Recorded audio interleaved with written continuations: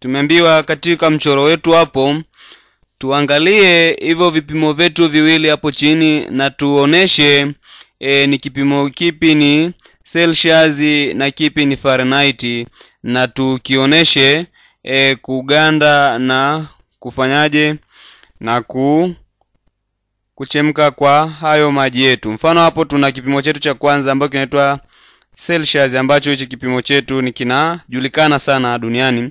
Mfano basi tukisema nyuzi joto sifuri tunasema ni kufanyaje? Ni kuganda kwa maji. Nyuzi joto sifuri ni kuganda kwa maji.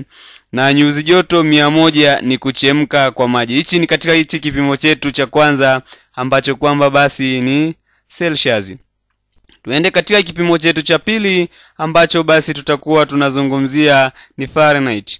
Katika Fahrenheit tunaona kwamba e, kuganda kwa maji tunaona ni nyuzi joto ngapi? thelathini na mbili. Lakini katika kuchemka kwa maji tunaona ni nyuzi joto mia mbili kumi na mbili. Kwa hiyo tunaona e, katika vipimo vyetu viwili hivi hapo tunaweza tukavilinganisha kwa mtindo huo.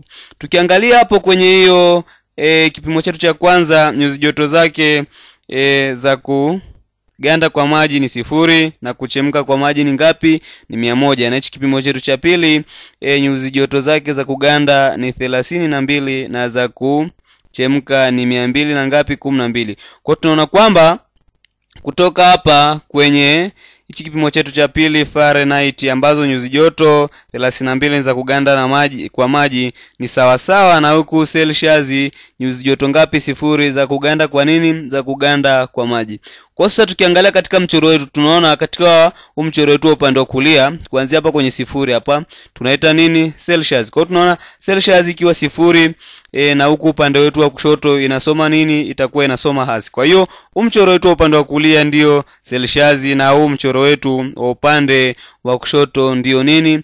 Ndio Fahrenheit. Kwa hiyo naona mpaka hapo mmeshaelewa nini kulinganisha hivi vipimo vyetu. Kwa hiyo tunaona hapa kwenye Celsius tunaona huku ndipo kuf- kufanyaje? Tunaona ndiyo maji yetu yanaganda. Na hapa juu kidogo hapo kwenye huu mchoro wetu tunaona hapo ni maji yanafanyaje? Maji yanachemka. Kwa hiyo basi naona hapo mmenielewa nini maana ya hivi vipimo vyetu viwili vya joto. Kwa hiyo huu upande wa kulia ni mchoro wetu wa Celsius na huu upande wa kushoto ambao nawachorea kwa hii rangi tofauti hiyo.